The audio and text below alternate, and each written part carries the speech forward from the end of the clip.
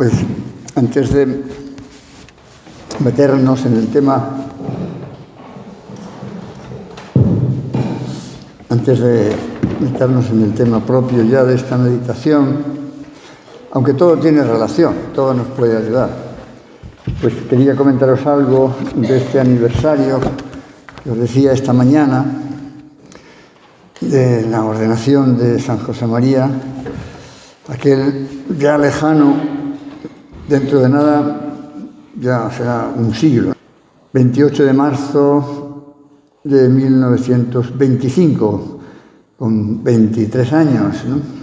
Los que conocéis más la historia de la obra, pues conocéis muy bien, en fin, todas estas cosas que yo ahora pudiera recordar y que lógicamente no me voy a alargar porque si no...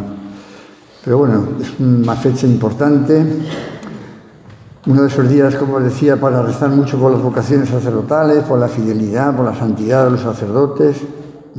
Como él decía que no había pensado nunca ser sacerdote, de hecho estaba estudiando derecho, su padre le aconsejó que lo hiciera, pero para estar más disponible a lo que, a lo que Dios le pudiera pedir desde aquel momento, siendo todavía adolescente, en Logroño, cuando vio las huellas de un carmelita descalzo, las huellas sobre la nieve, en invierno, camino de la catedral de Logroño o con catedral de Logroño, eh, que Inmaculada conoce bien y algunos otros supongo que también, pues sintió, sintió como, como esa ese algo que Dios quería de él, ¿no? Y para estar más disponible, pues quiso ser sacerdote, para estar más disponible a lo que Dios le pudiera pedir. Y así llegaría, pues aquel año 25, compatibilizando el estudio de Derecho con los estudios en el seminario, en el seminario de San Carlos, en ese lugar tan bonito, donde ahora hay una placa que han puesto allí en recuerdo de, de aquel joven seminarista, ¿verdad? Con todos los dolores y sufrimientos mm, que llevó consigo esa ordenación. La muerte de su padre, después de la quiebra económica ¿eh? en Balbastro, quiebra económica por la generosidad y la lealtad de su padre de ayudar más allá de lo que era estrictamente necesario por justicia, no, no, tenía por qué invertir su propio patrimonio total, que se quedó en la calle, en aquellos tiempos no es como ahora, entonces era una verdadera tragedia, no es que ahora no lo sea, pero estamos ahora ya acostumbrados. ¿no? Una persona cambia de trabajo, pierde el negocio, tiene que comenzar otra vez. Entonces suponía una especie de afrenta social, como si hubiera hecho algo mal, ¿eh? cuando era por su generosidad. ¿eh? Cambio de ciudad a un lugar, en fin, no muy lejano, pero al fin y al cabo distinto, para empezar con un trabajo más modesto, y tantas otras cosas. La familia de la madre de don José María, familia muy numerosa, de muchos hermanos, entre otros algunos canónigos de, Zaragoza, bien situados, que no quisieron saber nada de su sobrino seminarista y de su sobrino sacerdote, porque les parecía que eso, que su padre había hecho las cosas mal y dejaron solo a la familia. De tal manera que desde aquella primera misa en la catedral, en la Basílica del Pilar, pues estaba su madre, su hermana, algunos amigos y punto. Una misa ofrecida en sufragio por el alma de su padre, que había fallecido no mucho antes. De infarto, de sufrimiento. Bien, pues todos tenemos como cristianos, y así lo decía tantas veces San José María, y es un aspecto también muy importante de la doctrina de la Iglesia, que San José María pues, ha contribuido, podríamos decir, muy eficazmente a resaltar. No ha inventado nada, simplemente ha hecho caer en la cuenta de algo muy importante, y es que todos los cristianos, por el hecho de serlo, por el hecho de estar bautizados, pues tenemos alma sacerdotal. Lo dice San, Pedro, ¿no? Tenemos alma sacerdotal. No el sacramento del orden, pero sí el sacerdocio real, propio de todos los cristianos. ¿eh? Esto es importantísimo. Por tanto, todos los cristianos deben de tener también esa, necesidad de dar culto a Dios. El sacerdote, como, como, imitando a Cristo ¿no? en su triple dimensión, de profeta, de rey, de maestro, pues los laicos también dan culto a Dios, llevan a Dios todas las cosas temporales y anuncian la palabra de Dios con su vida. Eso, sin ninguna duda, le da una fuerza grande a la vocación laical, a la vocación cristiana. Resalta mucho ¿eh? la importancia de la vocación que recibimos con el bautismo. Los cristianos, los laicos, los seglares no son, pues, gente que está ahí para que les digan, ellos se tienen que sentir protagonistas de la vida de la iglesia, de la marcha de la iglesia, que es suya. Como se ha dicho tantas veces, lo que tiene un cristiano corriente en común con el Papa es mucho más que lo que les diferencia. Fíjate, aunque aparentemente el Papa en Roma, el Vaticano, el laico, pues hay en su pueblo, un pueblecito de Soria, por decir algo, ¿no? podría ser también en las calles de Nueva York, me da igual. Pues lo que tiene en común con el Papa es mucho más, porque es el ser cristiano. Como decía también San Agustín. Con vosotros soy cristiano, para vosotros, obispo, pero con vosotros soy uno más, igual que vosotros. Bien, entonces el sacerdocio me recordaba también el sacerdocio del Caballero de Gracia, pero lo dejaremos para otro momento. Lo dejaremos para otro momento. Bueno, pues esa actitud de, alma sacerdotal mm, que recordamos con este motivo, en esta fecha, pues mira, también es, me parece, también es un buen modo, un buen modo de enfrentarnos, de enfrentarnos con esas palabras solemnes que dice el Concilio Vaticano II enfrentarnos con el máximo enigma de la vida humana. ¿Cuál es el máximo enigma de la vida humana? ¿Sabes si me va a tocar la lotería o no? No. ¿Cuál es el máximo enigma de la vida humana? ¿Sabes si el Madrid va a ganar la Champions? No, no, no. Todos sabemos, el máximo enigma de la vida humana es la muerte. La muerte si no tenemos, y nosotros gracias a Dios sí tenemos, pero el que no tenga, el que no tenga una respuesta adecuada a ese máximo enigma, pues aunque tenga todo el oro del mundo y todo el poder del mundo, pues será un pobre hombre que tendrá que estar eh, sumido eh, en la tristeza, en la pesadumbre, en, no saber, en decir, bueno, ¿para qué me ha servido a mí? tener tanto dinero, tanto poder, si voy a morir, si no puedo evitar morir. Y además morir pues, puede ser de cualquier manera, con grandes dolores. Nosotros, gracias a Dios, tenemos una respuesta. No dejaremos de morir, consecuencia del pecado original, como recordábamos esta mañana. Pero a la vez sabemos que la muerte no tiene la última palabra. No tiene la última palabra. Es una parte del precio que pagamos por nuestro pecado original y nuestros pecados personales también, una parte del precio, pero sabiendo que no tiene la muerte la última palabra que es como la puerta de entrada a la eternidad. Cuando alguien dice, pero si es que, pero si, cenizas, ahí no hay más que cenizas, ahí no hay nada. Hace falta la fe para entender que no puede terminar todo con la muerte. Hace falta la fe. Bueno, evidentemente la fe nos da un conocimiento, profundo, ¿eh?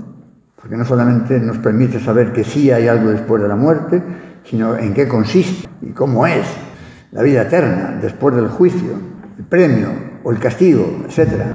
Hace falta la fe para entender que es lógico que no se acabe todo con la muerte. Pues creo que podemos decir que sí, porque si no, no se, es todo muy, sería todo muy absurdo. Por ejemplo, claro, podemos preguntar, claro, hay que admitir, hay que admitir que venimos de Dios. Si, si no admitimos que venimos de Dios, pues seguimos en lo mismo, ¿no?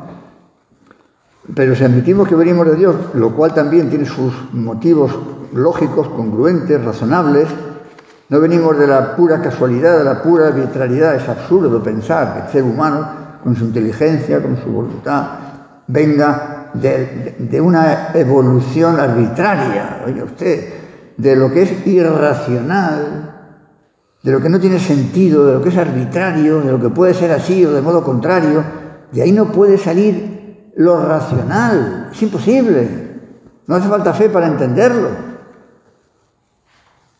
Bueno, pues es decir, que tiene que haber una mente, una mente creadora, inteligentísima, que es la que da la vida a lo que no tiene en sí la razón de existir. Porque si no, como decía Benedicto XVI, no hay más remedio que echarnos en manos de la irracionalidad. Y si a una persona le puede costar entender las verdades de fe, más eh, que, lo que sí que es verdaderamente absurdo es echarse en manos de lo irracional. Eso sí que es absurdo. Bueno, pues mm, si entendemos que venimos de Dios, ¿cómo vamos a pensar que Dios puede habernos traído a nosotros libres. Y por tanto, si somos libres, no somos pura materia. No podemos ser solo materia. Todas las demás cosas que existen desaparecen absolutamente porque son pura materia. Los animales tienen eh, un sentido ya un poco, eh, que si queréis, de cierta manera ya no es tan material, pero evidentemente no tienen alma, ¿no? desaparecen, han cumplido su fin por el mero hecho de existir, han dado gloria a Dios por el mero hecho de existir, manifestando el poder de su creador. ¿no? Pero si, Dios a nosotros nos ha dado la existencia así como nos la ha dado, puede ser entendible que Dios haya hecho al hombre para que pueble la tierra durante unos años y desaparezca para siempre. ¿Es, es lógico, es congruente? Pues no parece que sea muy congruente, ¿no? Pero todavía con más razón, si yo desaparezco para siempre después de morir, ¿qué sentido tiene que yo ahora me tenga que portar bien y evitar el mal? Es decir, ¿qué sentido tiene que yo me prive de lo que le apetece a mis sentidos? Si yo voy a desaparecer para siempre, si no hay un después para siempre en la felicidad o, en, la condenación, ¿qué sentido tiene portarse bien ahora?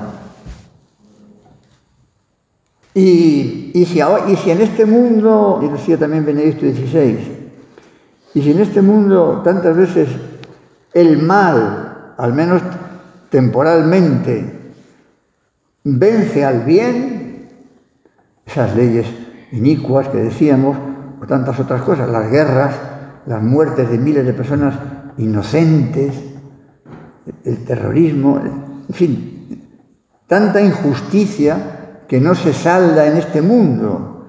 Una vez porque no se salda de ninguna manera. Otra vez es porque aunque haya un juicio, pues el juicio no va a devolver la vida al que ha sido asesinado inocentemente.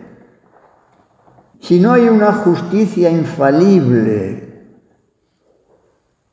que quede patente ante todos los hombres, que Dios premia a los buenos y castiga a los malos, entonces en el mundo efectivamente vencería la injusticia, vencería el mal.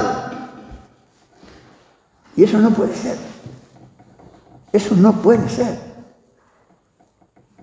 Son razones que no demuestran, no demuestran, pues no pueden demostrar científicamente, pero que hacen ver lo razonable, lo congruente del más allá, de la eternidad, del alma espiritual, del alma inmortal.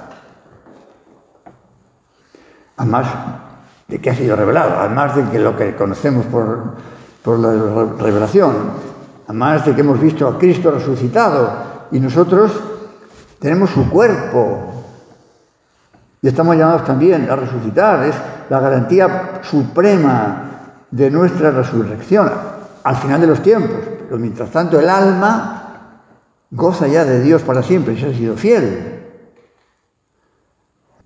Y las apariciones de nuestra Madre la Virgen y tantas cosas. En en nuestro caso, pues no, es que dudemos, ¿no? No, lo tenemos muy claro, ¿no? Entonces el pensamiento de la muerte para nosotros, pues, como debe ser para cualquier cristiano, pues nos debe llevar a vivir de cara a Dios.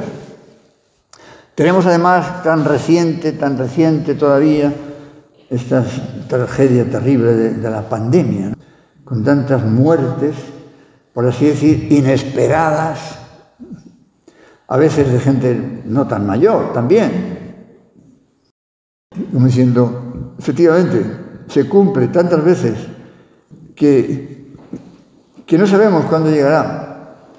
Por eso tenemos que estar vigilantes porque no sabemos el día en que Cristo vendrá a llamarnos. Tenemos que vivir como si cada día fuera el último, como si cada día fuera el último. Hay tanta gente que, pues que, que sabe que salvo un milagro, que los hay, los milagros, pues en principio va a vivir pocos meses o pocas semanas o pocos días. En esas circunstancias, esas personas, si son cristianas, si son sensatas, pues cómo vivirán de cara a Dios, cómo le darán a cada cosa el valor que realmente tienen delante de Dios. ¿no? Tantas cosas que a veces pues nos ocupan, nos atraen, perdemos el tiempo en ellas, o a veces incluso son cosas no buenas, no sé. Cuando uno sabe que Dios está cerca, se prescinde de, lo que no me sirva para amarle, para prepararme, para estar cerca de Él. Lo cual no quiere decir que uno se desentienda de las ocupaciones humanas. Hombre, llega un momento en que por falta de fuerza o lo que sea, pues tampoco se puede, ¿no? Pero bueno, al margen de eso. Eh, se, trabaja y se vive pues de cara a Dios. Nos da en definitiva la muerte esa sabiduría del cristiano, de no dejarnos distraer por lo que no nos va a llevar a la vida eterna. Por tanto, en definitiva, aprovechamiento del tiempo. Y ahora ya no me refiero a gente que sepa que tiene un cáncer y que tiene pocos meses de vida sino para todos nosotros. Tampoco sabemos si se presentará alguna circunstancia anómala, de modo imprevisto, como de vez en cuando sucede, como hemos tenido ocasión de ver una vez más pues en personas queridas ahí en, el oratorio, en Caballero de Gracia. Y también entonces se comprueba tantas veces que esa enfermedad que aparece así como traicioneramente, por así decir, traicioneramente, uno está bien, hace la vida corriente y de pronto a lo mejor siente un ligero malestar, tampoco le da mayor importancia y al cabo de pocos días aquello está ahí presente, acude al médico, le hacen unas pruebas y le dicen, usted tiene un cáncer en un estado muy avanzado. Estas enfermedades, digo, traicioneras, ¿no? Bueno, pues vemos cómo tantas veces esas personas reaccionan de una manera extraordinaria. Porque aquello podría hundirle, ¿no? Pero es que es verdad que Dios, cuando permite una situación especialmente dura, pues también da la gracia necesaria, porque no nos va a probar más allá de nuestras fuerzas. Y vemos a esas personas que reaccionan una serenidad. Esto, esto, esto, esto se lo da Dios. Esto sin una gracia especial de Dios no, no se entendería, ¿no? Con una serenidad, con una aceptación de lo que Dios quiera, poniendo, lógicamente, los medios que la medicina pueda poner, pero a la vez pues, en las manos de Dios, soportando con elegancia, digamos, las pruebas, pues duras, difíciles, a veces incluso pues, un poco humillantes, humillantes por decir algo, ¿no? En fin, con, una, con un señorío ejemplar. Tanto en personas mayores, que ya, eh, podríamos decir, ya han gastado su vida en la mayor parte, como también a veces pues, en personas jóvenes, en, chicos o en chicas jóvenes. En la, página web de, la obra hay un apartado, bueno, no sé si está ahí propiamente puesto o no, pero, pero eh, lo que iba a decir es que em, entre esas estampas que hay de personas del Opus Dei que están en proceso de beatificación, ya son pues, bastantes ¿no? en unos países o en otros, pues acaba de aparecer ahí una estampa más de un chico de 22, 23 años mm, que, que nació, en, nació en España, pero bueno, ha vivido en Inglaterra toda, su vida por el trabajo de sus padres, chico joven, mm, estudiante de ingeniería, muy buena cabeza, y conoció el Opus Dei en una residencia de estudiantes en Londres y pidió la admisión y al cabo de poco tiempo un cáncer. Me parece que eh, de cerebro, ¿no? Bueno, se sabía que por algún milagro iba a vivir poco tiempo. Siguió estudiando, hizo su vida lo más normal que pudo, quien no le conociera no podía imaginar que aquel chico tenía un cáncer porque estudiaba, era alegre, estaba con los amigos, hacía excursiones mientras podía. No podía imaginar. En fin, el caso es que muere al cabo de poco tiempo, pues siendo un ejemplo impresionante para mucha gente.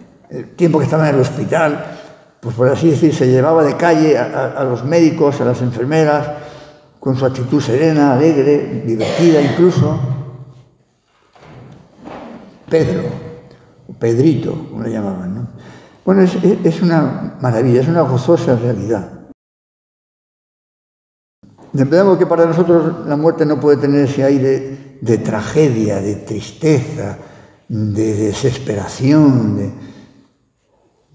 No, de ninguna manera, de ninguna manera. Eso sí, nos tiene que llevar, como digo, a aprovechar bien el tiempo de cara a la santidad. Nos dice San Juan, el Señor, es preciso que yo haga las obras del que me envió, dice el Señor, mientras es de día, porque viene la noche y ya nadie puede trabajar.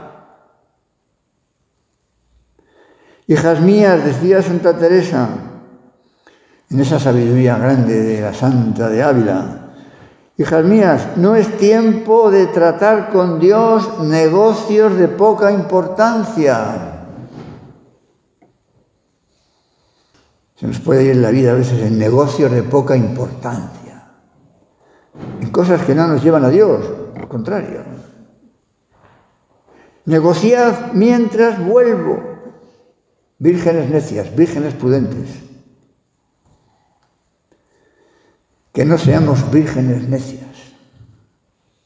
Ya hicieron algo, estaban allí, pero no fueron prudentes, no cogieron el aceite necesario para esperar el tiempo que hiciera falta. Negociad mientras vuelvo. Tened ceñidas, ceñidos vuestros lomos y encendidas las lámparas. Así tenemos que estar, vigilantes, vigilantes, aprovechando bien el tiempo, teniendo, teniendo deseos de gastarnos para Dios, gastarnos para Dios. San José María eh, siempre decía que, que lo propio de un buen cristiano debe ser querer vivir todo el tiempo que Dios quiera y morir exprimidos como un limón. Es decir, después de haber gastado la vida, pues en hacer muchas cosas buenas. Dios necesita amigos fieles en este mundo. Y por eso Dios quiere, pues, pues sí, que, estén aquí, que vivan a lo mejor muchos años para hacer el bien.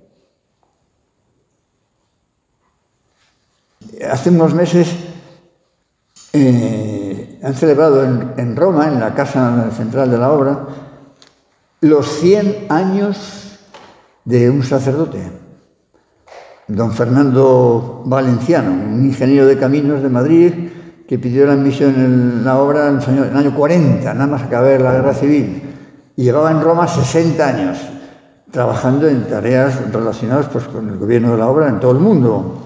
Y siendo ya bastante mayor, sí, como el caballero de gracia más o menos, pues se ordenó, después de haber trabajado pues, como ingeniero, como laico, un montón de años. Se ordenó con muchos años, pero mire, el Señor todavía le ha concedido otros. De momento vive, allí está en Roma, don Fernando, con una cabeza notable, y sobre todo pues, con una vida de trabajo hasta el último día, hasta el último día, como, como también el caballero de gracia.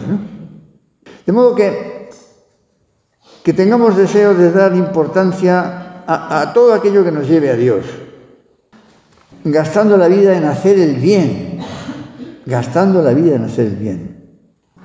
Esto a la vez, pues, el, pensamiento de la muerte, pues nos lleva también al desprendimiento, al desprendimiento bueno, a no dejar que el corazón se quede apegado a las cosas de la tierra, que las utilicemos solo como medios, no como fines, para que no nos impidan amar más a Dios y amar más a los demás.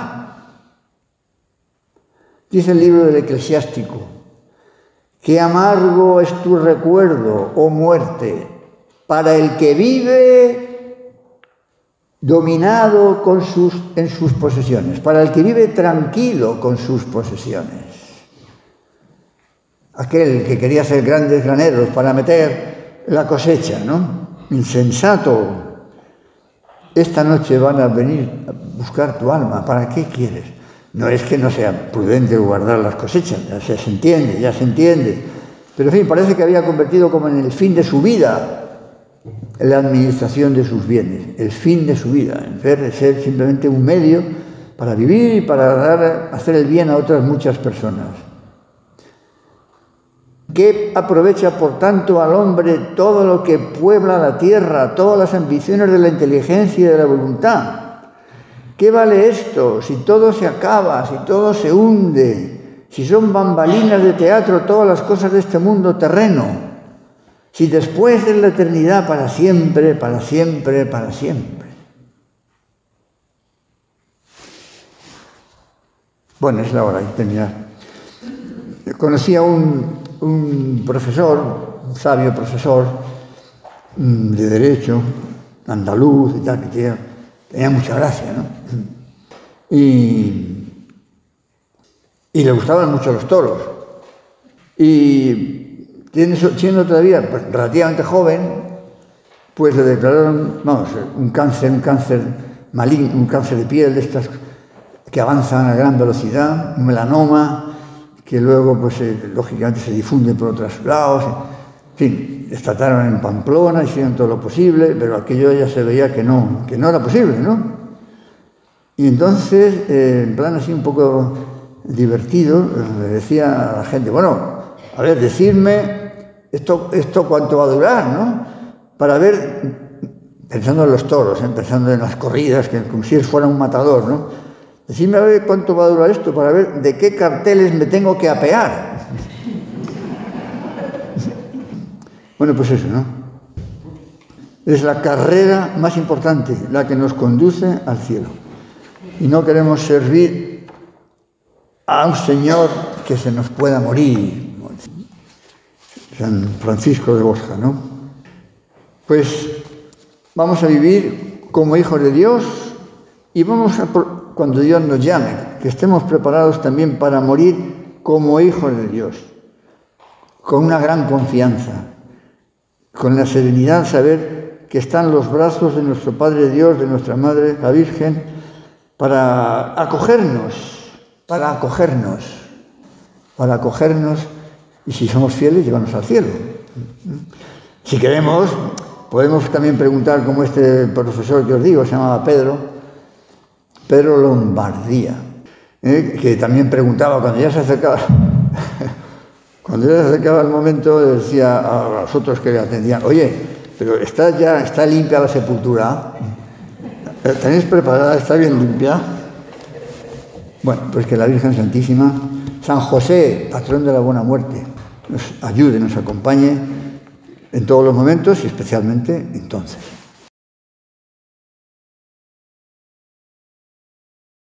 Te doy gracias, Dios mío, por los buenos propósitos, afectos e inspiraciones que me has comunicado en esta meditación. Te pido ayuda para ponerlos por obra. Madre mía Inmaculada, San José.